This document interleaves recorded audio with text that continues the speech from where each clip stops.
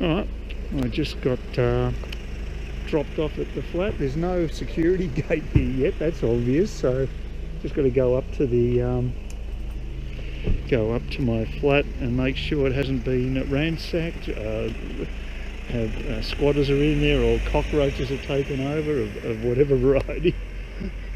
uh, and I'll just check my mail before I go up there. Well, back in Cairns. Saturday morning around 10 o'clock. And of course there's a light breeze. What's surprising about that? I probably won't be able to shoot much of this video uh, in this direction as usual. Some things never change and it looks like the, uh, the weather pattern's pretty similar. It's quite a warm day. It's a little after 10 and uh, just got to go and head for provisions. Do my uh, my duty for the uh, stocking up on, on liquids and food for Corona.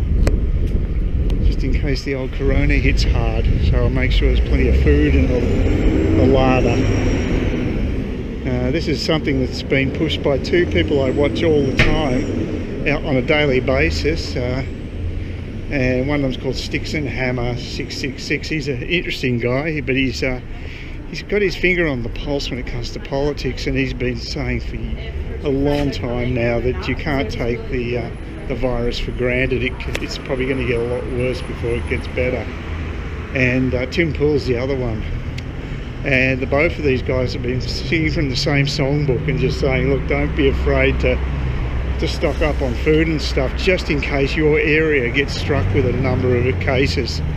And um, seeing Cairns is a tourist town, I guess we're on the firing line a bit. We get a lot of people coming in from overseas and uh, you know it could easily happen here. So uh, yeah I just got to take that into account. I think it's sensible to be prepared for that and have lots of food that you can keep you going for a couple of weeks if need be if there's a bit of panic buying happening because things do turn worse and it does appear as if it can flash up pretty quickly because uh, places like Italy didn't seem to be a major hotspot. It just come out of nowhere and boom.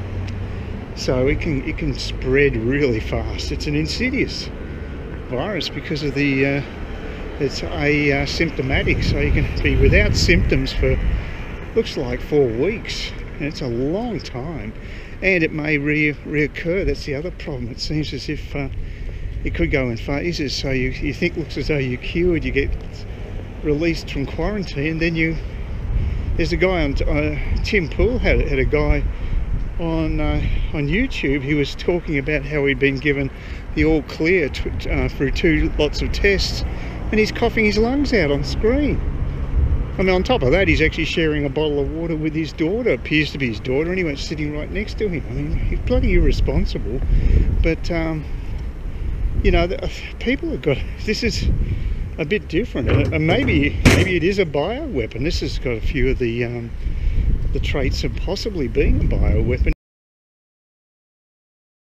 it's just one of the empty stores in uh, this is right near the supermarket. Just shows you how bad uh, the retail's going in C CBD terrible um, customer service at uh, at Woolworths. There wasn't any there's only one girl on. She was on the other counter, and we had to. There's a line of us waiting at the uh, at the checkout. Just and she she acted like a total robot. I love the way they don't help you putting your groceries in either. I had a bag and another had two bags. Just let me do it all myself. So I just yeah, just like I say, there's zero customer service these days. It's really pathetic. Uh, yeah, like I say, just very robotic, not good but at least they don't rip off farmers like Coles do. Coles have um, got donations for dairy farmers and they pocketed the money, the pricks. So I will, I'm, I'm definitely favouring Woolworths now compared to Coles for my shopping. I can get stuffed Coles. just that's very, very low act and uh, and of course they both underpay their staff I think know Woolworths got caught for that. Maybe that's why the, she acted like a robot. She's totally unmotivated. Oh dear. Anyway I've got a little bit of my shopping done but I've got a lot more to do. I think I'll have to go to uh, Central later in the day and get uh, can go to Coles and pick up some stuff as well. So, so I spent 34 bucks there so, at Woolworths, but I'm just, it's going to take a while to replenish my stocks. Basically back to zero because you're not going to be, uh, you're going to get rid of all your stuff before you go overseas, especially for a long time. So I've got bugger all. So, be good to get home. It's warm. It's, this, uh, I'm glad I avoided summer.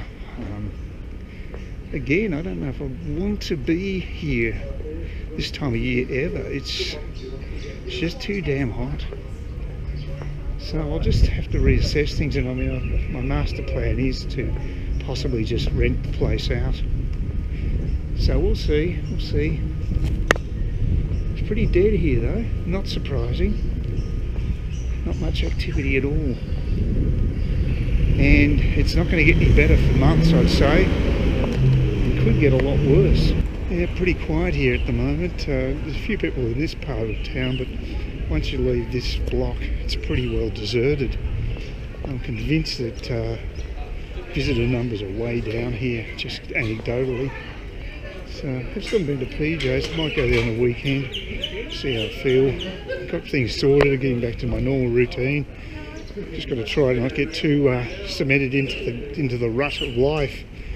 Uh, I do have to get a few things sorted. I want to do the renovations on the uh, the flat, and so I was going to pull my finger out and get get something happening there. I had a look for furniture. Uh, couldn't see much on Gumtree. It seems like it's very quiet at the moment. Even people aren't even selling stuff. So. Um, yeah, I, I looked up leather couches, for instance, there weren't any listed, not one, which is very strange because there's a, a number of them last time. There were some kitchen tables, or dining tables, I should say, um, but not many again. Very few listings, just everything's quiet. So, uh, yeah, I don't know what's, what's causing that. You'd think that market would still be going strong, but uh, the supermarket was reasonably busy, but it's near the near five o'clock. Uh, and I've pretty well, pretty well finished all my major shopping now. Now it's just a matter of topping everything up. So it's taken me about four trips to the supermarket to get back to normal. And I think I'm pretty well there now. But uh, yeah, it's quite a breeze coming up here, so I couldn't record a thing, which is good because it's quite warm. I'm quite happy to have a bit of a breeze. It takes a bit of the edge off because it is warm this time of year. And I felt it was really hot last night trying to sleep, really hot. I had my first really strange glitch with, um, technically with YouTube. Actually, it wasn't YouTube's fault, as much as I'd love to pay out on them. It was actually the uh, the Corel video editing. I um, I rendered my latest video yesterday, and uh, and I was told by one of my subscribers uh, that the, the sound was was crap. I don't normally even bother testing because it's not an issue. I test it when I, on my own machine, but I don't test it once I've actually uploaded it to uh, to YouTube. But it was crap. So I tried reloading it onto YouTube a few times, deleting it and reloading it. That didn't help at all. I just had to re-render it through the through the actual program, the Corel program, editing program. And the sound's perfect again because it's actually my best camera. It's the, the Sony camera, and the and the the sound on the Sony is excellent. So um, I, I rendered it for the second time and it worked fine. So that was a relief because it's really frustrating when you have technical glitches like that because I hadn't changed anything. I hadn't done anything differently to what I normally do. It's a process I follow now. I've made so many videos. It's it's like a production line. So uh, I couldn't work out what the, what the issue was. I assumed that maybe it was a, a YouTube thing. I am actually having some YouTube issues with um, having to re uh, load videos. I, you, you'll, you'll click on them once and you'll get an error message. I'm finding that at the moment. I have to, there's two ways around it. Either I click again or alternatively I open a new tab and it seems to work. But it's a definite technical glitch of some description I haven't encountered before. So uh, everything else seems to be working all right in the computer though, so it's, it's operating fine now. So. got all the passwords set out. It's, it's I don't quite understand the logic of it because the, the password I use to access my uh, computer, my desktop, is different to the one I changed it to for Microsoft. I thought it'd be the same password, but it's not, and that's weird. And also for um, for getting onto the uh, Hotmail, again, it's a different, an old password. I don't know why that would be the case because if I changed my settings with Microsoft, you think it would be universal, it'd be across all platforms, but no, so I can't work that one out. But anyway, it's working, that's the main thing. Just, uh, yeah, I've been in password hell the last uh, few weeks or so with all the changes having to do with my computers. It's a pain in the backside. I can't stand passwords. Uh, I thought we were supposed to come up with um, fingerprint ID and iris ID, but none of this stuff seems to have come to fruition. So, yeah, one of these days, hopefully it will, because if you could just eliminate passwords, it would save a lot of hassles from many people's lives, I think.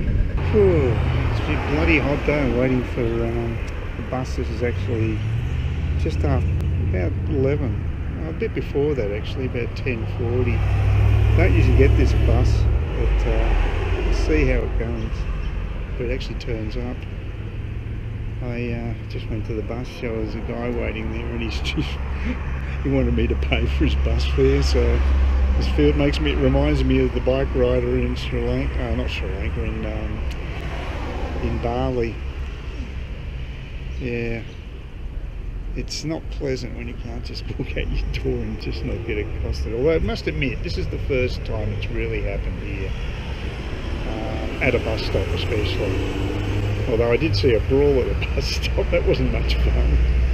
So it's colourful life up here.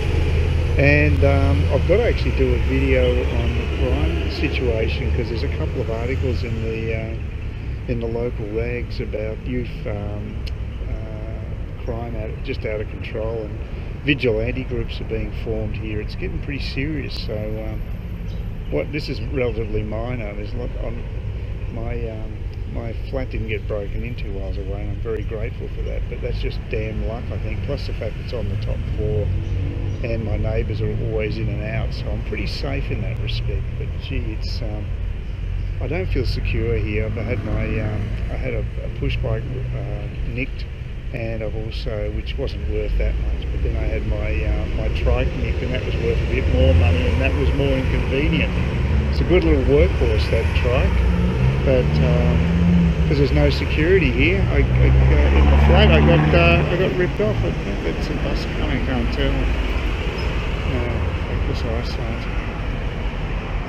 Yeah, feels warm here though. I think there's a bit of humidity in the air. It's not good hopefully a bus will show up soon and get to Murphy's. There's a good deal on Carlsberg. We've got four cans, four 500ml cans for 12 bucks if you're um, if you're a member. So they've got some good deals for members with beer. So um, that's pretty reasonable. And it's got a, it's actually a decent uh, alcohol content. It's 4.8. A lot of the beers sold here these days, the local ones, are a lot less than that. I think it'll be closer to about 4.2 or something. So. Uh, it's got more of a kick to it as well. So yeah, I'll get some Carlsberg. I might even buy two lots of it. But uh, yeah, 500ml cans are strange little aberration in size. We don't get that here in Australia, but it seems to be more of a European thing. Um, uh, but it is good value. So um, yeah, and the other advantage of being in cans is it's, it's, it's lighter for me to cart, and uh, bottles are a pain because um, it just adds weight to taking it home. If I had a car, it wouldn't be such an issue, but um, I can't use a trolley because I could use the backpack, so weight becomes an issue for someone like me. Anyway, I don't know how this guy's going to get on the bus. I think he's got, he claims he doesn't have enough for the, the, the fare, so we'll see if that's true. What a miracle! My emaciated friend at the uh, the bus shelter who tried to get three bucks out of me miraculously found the money to, to get a bus ticket. Well, well, well, what a surprise. Please uh, consider subscribing to my channel if you think there's anything there of, uh, of use to you or entertainment or whatever. And uh, either give do that or give me a thumbs up or, or if you're feeling really energetic, do both. That'd be great. Uh, but uh, please don't ignore me. That's the worst thing you can do on YouTube is be ignored.